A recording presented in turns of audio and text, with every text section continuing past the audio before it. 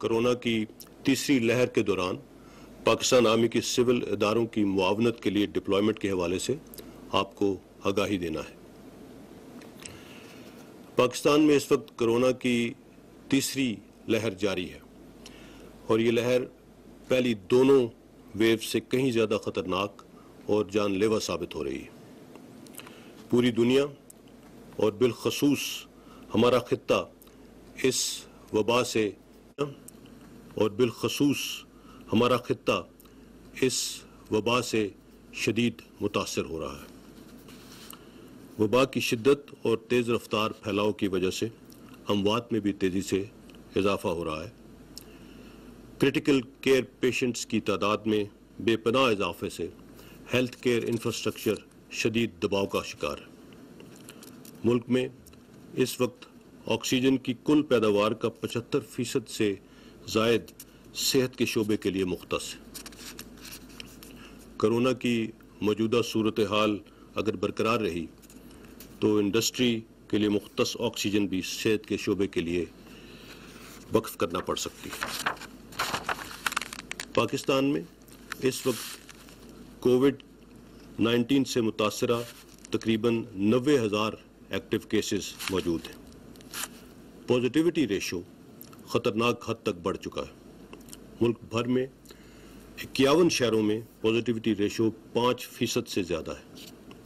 जबकि इस्लामाबाद, खैबर पख्तूनख्वा में पिशावर, मरदान नौशहरा चारसदा सवाबी, पंजाब में रावलपिंडी, लाहौर, फैसलाबाद, मुल्तान, बहावलपुर, गुजरावाला, सिंध में कराची और हैदराबाद, बलूचिस्तान में कोयटा और आज़ाद कश्मीर में मुजफ्फराबाद ये बिलखसूस वो शहर हैं, जिनमें पॉजिटिविटी रेशो इंतहाई ज़्यादा है। इन सोलह शहरों में इस ही मुनासिबत से पाकिस्तान आर्मी की इन्हेंस्ड डिप्लॉयमेंट कर दी गई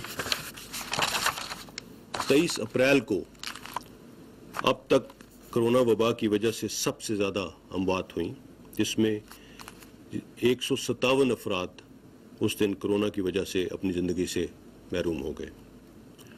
इस वक्त मुल्क भर में 570 अफराद वेंटिलेटर्स पर हैं और 4,300 कोरोना से मुतासर अफराद क्रिटिकल कंडीशन में कुछ शहरों में हस्पतालों में नबे फ़ीसद से जायद वेंटिलेटर्स ऑक्यूपाइड अप्रैल के महीने में कोरोना से अमवात का औसत तनासब सबसे ज़्यादा रहा है। 26 फरवरी 2020 से आज तक सत्रह हज़ार एक सौ सतासी अफराद पाकिस्तान में इस वबा की वजह से अपने प्यारों से बिछड़ चुके हैं। इस वक्त दुनिया में कोरोना की वजह से शराय अमवात दो अशारिया एक दो फ़ीसद है, जबकि इस वबा के दौरान पाकिस्तान में पहली मरतबा दुनिया के मुकाबले में शराय अमवात बढ़कर दो अशारिया एक छः फ़ीसद तक पहुँच चुकी है। तेईस अप्रैल को वजी अजम पाकिस्तान की सरबराही में नेशनल कोऑर्डिनेशन कमेटी का अहम इजलास हुआ, जिसमें चीफ ऑफ़ आर्मी स्टाफ भी मौजूद थे। तमाम स्टेक होल्डर्स की मशावरत और बाहमी रजामंदी से एन सी सी ने कोरोना वबा की तीसरी लहर पर काबू पाने के लिए नॉन फार्मास्यूटिकल इंटरवेंशंस के हवाले से चंद अहम और बर वक्त फैसले किए जिनसे आप बखूबी आगाह हैं।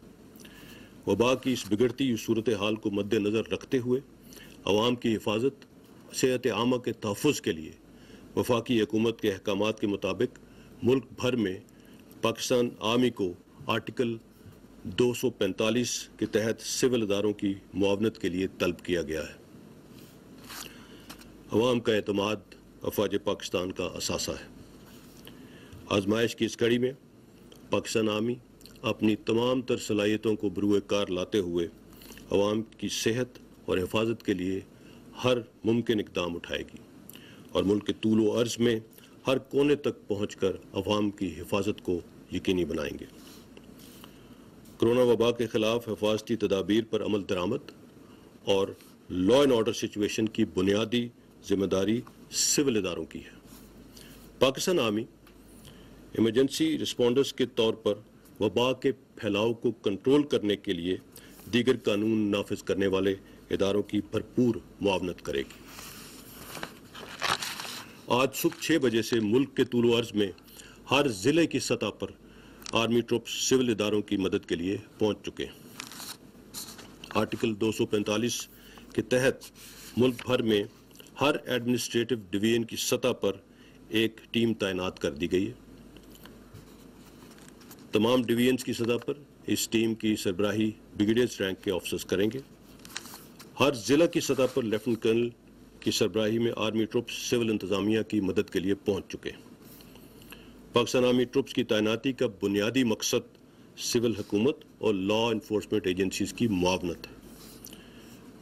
पाकिस्तान आर्मी ने इस डिप्लॉयमेंट के दौरान भी पिछली मरतबा की तरह किसी किस्म का इंटरनल सिक्योरिटी अलाउंस क्लेम ना करने का फैसला किया है।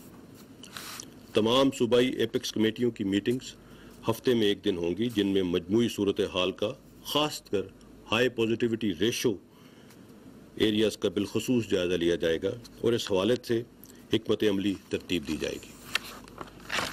एहतियाती तदाबीर पर अमल दरामद ही इस वबा के ख़िलाफ़ एक मौसर रिस्पॉन्स है। हम सबको मिलकर इनफरादी और इज्तमाही तौर पर अपनी अपनी जिम्मेदारियों को निभाना होगा, ताकि आवाम की सेहत और हिफाजत को यकीनी बनाया जा सके। फेस मास्क का इस्तेमाल, समाजी रबतों और सोशल डिस्टेंसिंग के हवाले से हिफाजती गाइडलाइंस पर अमल करके ही हम इस वबा से महफूज रह सकते हैं। रमज़ान मुबारक का बाबरकत महीना हमें एहसास और नज़म ज़ब्त का दर्स देता है। घरों में, मसाजिद में और बाकी तमाम जगहों पर हिफाजती तदाबीर को यकीनी बनाकर हम एक दूसरे की मुश्किल टाइम में मदद कर सकते हैं। इस वबा के आगाज़ से अब तक आवाम के ताउन और एहसास ज़िम्मेदारी ने हमें दीगर मुल्कों के मुकाबले में इस वबा के इंतहाई ख़तरनाक नुकसान से महफूज रखा। और अब भी इन बहसीत कौम हमें पहले से भी ज़्यादा एहतियात और ज़िम्मेदारी का मुजाहरा करना है। रमज़ान मुबारक के महीने में अपने इर्द गिर्द के लोगों का एहसास करें।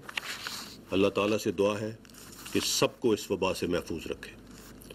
वो तमाम लोग जो अपनी जान की परवाह किए बगैर दूसरों की ज़िंदगियाँ बचाने में मसरूफ़ हैं, अल्लाह ताला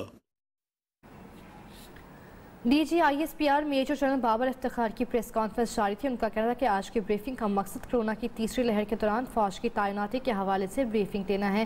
कोरोना की वजह से मुल्क में सूरत हाल ठीक नहीं, कोरोना की मौजूदा सूरत हाल अगर बरकरार रही तो मुख्त ऑक्सीजन भी वफ करना पड़ सकती है। नबे हज़ार एक्टिव केसेस मौजूद हैं। मुल्क भर में पॉजिटिविटी की रेशो पाँच परसेंट से ज़्यादा है। कोरोना की तीसरी लहर पहली दो लहरों के मुकाबले में ज़्यादा जानलेवा साबित हो रही है। हमारा हेल्थ केयर सिस्टम वबा की वजह से शदीद दबाव का शिकार है। तेईस अप्रैल को सबसे ज़्यादा एक लोग कोरोना की वजह से अपनी जान हार गए।